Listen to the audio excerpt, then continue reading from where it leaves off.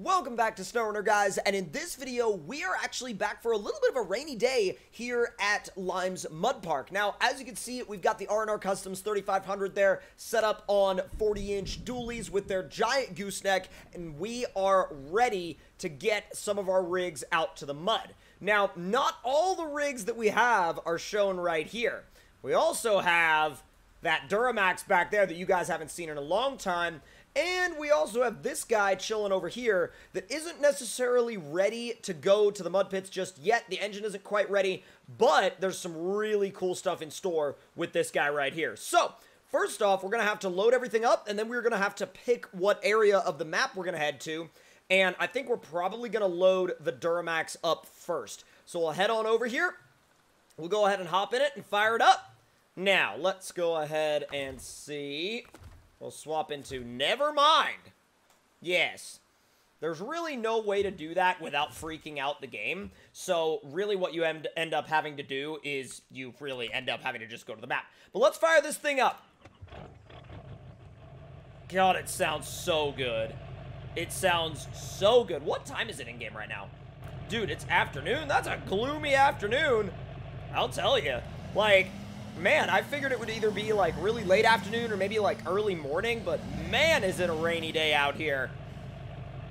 Now, I have never actually loaded this truck up on this trailer before, so I'm really hoping that all goes well trying to load it up. Okay, yeah, we're good. Okay. Now, occasionally, just occasionally, some rigs will have issues going up a certain set of ramps, like, especially if the tires don't agree with each other, or if, like, the tires don't agree with the ramp model, sometimes things can get just a little out of hand. Try to make it just a tiny bit more straight on the trailer. There we go. So she's good to go right there, and I know I definitely want the Bronco. I know I want the Bronco, no question about it. I might be able to line it up. Let's see. Easy. There you go. Now, my question is, if we... I think, yeah, I think we can do it. I think we can actually load up the side-by-side -side as well. It's going to be close. It's going to be tight, but I think we can do it. Like, I think there's a potential chance that it could fit. It would definitely fit with the smaller tires, or at least potentially so. Oh my god. Oh my god, that is too close. Let me put it in low minus. Yeah, no, it ain't going any further than that. Yeah, it is not going any further than that. Let's see if the side-by-side -side packs. I doubt it will. Oh, it packs. Alrighty then. What about the ramps? Now, if I try to bring the ramps up, will this get angry with me? No, it'll just kind of balance there. Huh, I mean, you know what? I'm actually kind of happy with it because that means that, I mean, yes, the, the ramp is going to kind of bounce around a little bit, but, you know, I mean, in real life, sometimes you have to get a little bit creative, so I'd say we definitely got a little creative loading this particular lineup of trucks up, and I think it actually looks pretty dang cool, especially with your kind of variety of side-by-side, -side, mud truck, and lifted solid axle swap Duramax. Like, I think it's actually a really creative lineup of trucks. Really creative lineup of trucks. And now, we're going to go ahead and head to the mud pits themselves and see what we can do. Let's ease it on out of here. I don't really want anything to freak out. Because if something freaks out, we're in big trouble. Especially if the trucks glitch into the trailer and throw us into the air. Alright. Oh boy. Oh boy. It really, it takes a while to slow down with all that weight on the back. Like, it takes a minute.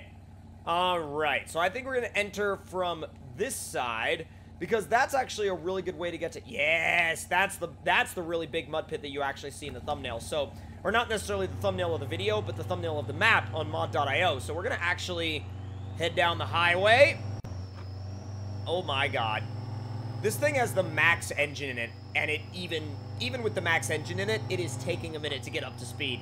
Like, it's taking longer than I feel like it normally would to get up to speed. And that's saying a lot. Okay, I know I'm not going very fast, but, like, you have to dramatically slow down going around corners with a trailer in this truck, only because of the fact that this truck will let the trailer pass it if you don't do it right. Uh, genuinely, it will let the trailer pass it if you don't do it right. All right. I'm to go ahead and stop at the gas station real quick. We'll get some snacks for the road. Don't worry about it. We'll, we'll top off on diesel fuel. We'll get some snacks for the road. No worries. All right. Okay. All right. Yeah, that was a little sketchy. And fuel up. And let's go and fire it back up and hope our front axle doesn't leave the ground again. Yeah, our front axle leaving the ground is not exactly a preferred scenario, so I'm going to try to not let that happen again. All right, come on, lay the power to it. Let's go. Oh, not bad. There we go. Come on. Come on. Dude, I'm literally like, I'm full throttle right now. And it's not going that fast necessarily, but we will have to be careful when it comes to slowing it down, because if we mess up slowing it down, we, oh, we got a little bit of a trailer sway going on, and it's not much right now, but once, if it starts to get worse, it's going to get real sketchy real quick, and I really don't want to get, like, super friendly with one of those light poles. I really don't. That's, like, the lowest thing on my list of priorities right now. Alright, slowly applying the brakes. Come on. Make a right and head for the mud park. This is where the fun's to start. Oh, actually, though, that's really pretty. Like, when you have the sun uh, coming through the clouds like that, that's actually really cool it it's it gives you this vibe that you don't really get in the game all that often, and it's this like this almost like post rain.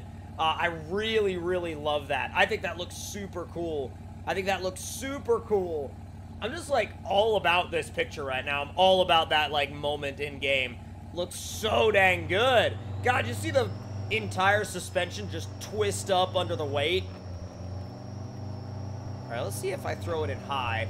See if I can just lock it there and have a sustained speed both on flat ground and up the hills. Because if I if I can have it on flat ground, I really hope I can have it on up the hills. Come on. It's digging in. Uh-oh. Oh, it's actually digging, digging. Like, initially it was doing the kind of digging I wanted it to do, and then after that it started doing the digging I didn't want it to do, so let's not let that get out of hand.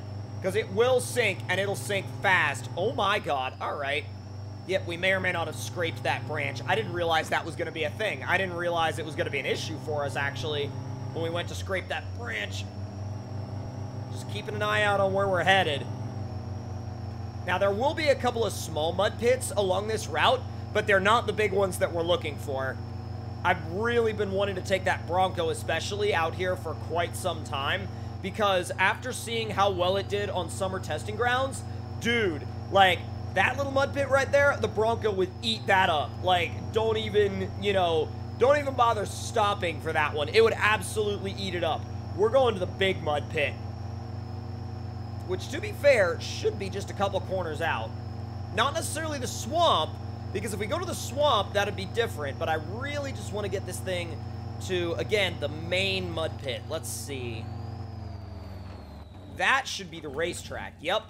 And then, oh, it's right here on our right. Almost missed my turnoff. Let's not do that. I would definitely prefer to not have that happen. All right, boys. Trailer parking area. And we're going we're to go ahead and get this whole setup unloaded. Dude. Dude, this is going to be so sick. Oh my god. All right, when you when you hit the e-brake, it does get a little weird. Oh, what? Come on. I forgot I have to have... I always forget that I have to have the engine on to lower the ramps. It's such a weird dynamic. You know what I mean? All right, we're going to get the side-by-side -side off first. Back it up. There we go. All right, we'll put you back here. E-brake on, and engine off. And actually, we'll just put it in high mode because we're about to hit dude, like, we're about to hit the mud pits anyway, so it might as well be in high suspension mode. Fired it up, basically fired it up in reverse. All right, we got the Bronco out of there. Good to go. And shut it down. And now we just have to get the Duramax off the trailer, and then we'll be good to go. God, listen to that turbo just whistling and spooling up. All right, let's go ahead and get this guy backed up. Park you right next to the side-by-side. -side. And now, I'm going to actually get it out of reverse because I'd rather not just leave it sitting in reverse. And we're going to go ahead and actually refresh the afternoon real quick. And now, I think we're going to probably start in the Duramax because I have a feeling that performance-wise, it's going to go this truck, side-by-side, Bronco. So I'm thinking we run the Duramax first. And basically, the name of the game here is very simple. We're going to go until we get stuck. Three, two, one, let's go. Laid the power to it. Not bad.